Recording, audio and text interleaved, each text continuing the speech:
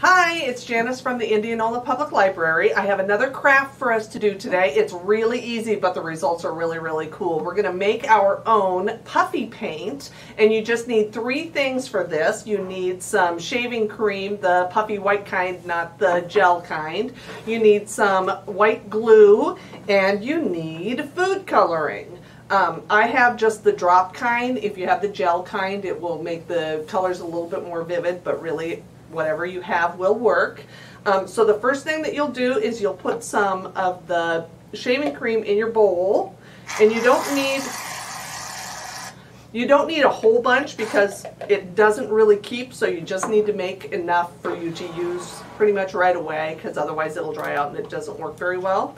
So you'll put some shaving cream in your bowl and then you'll put about the same amount of white glue it's not as puffy, so it won't look like the same amount, but it really is. Um, it's not a precise science here. We're just kind of winging it.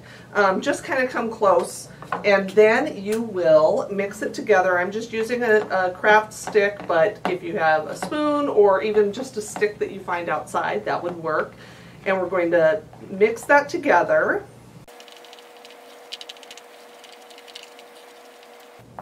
And then if you want to make different colors, you'll need to separate it out so that you can add the different colors. Or And if you want to leave some white, if you want to make some clouds, puffy clouds or something, the white will work really well for that.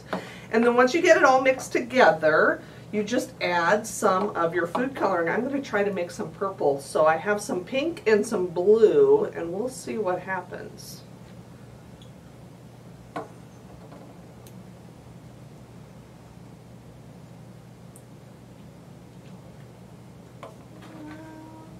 Then you just mix that together. Oh, hey, it does make purple. How about that? And if you want to, you can leave it kind of swirly like that. That would be kind of pretty. I'm going to go ahead and mix this all together, or mostly all together.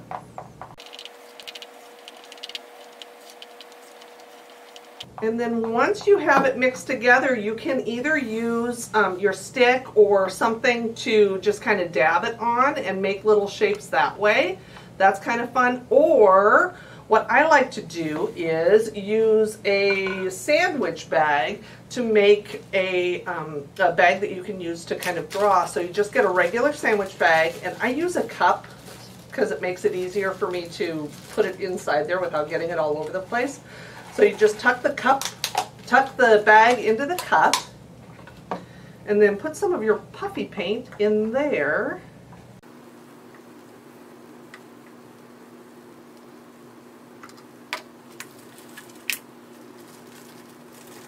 And then squeeze it down into one of the corners. Get it down in there as close as you can to the corner and then close it up so that it doesn't come squeezing out the other end when you roll it up together. And you can roll it kind of together and make a little bag like that. And then you will just cut off the tip.